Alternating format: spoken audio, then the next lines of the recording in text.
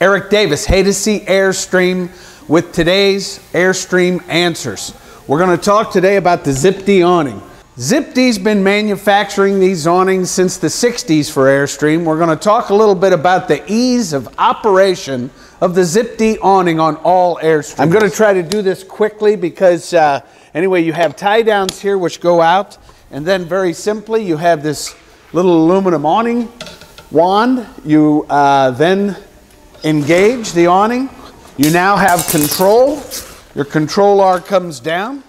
You take and lock into place here, and then you you can vary the intensity there. You go back over here, take our locking bar, and we lock into place. And then we can then talk about the pitch where we'd like to take it. So, in no time at all, we have our Zip Dee awning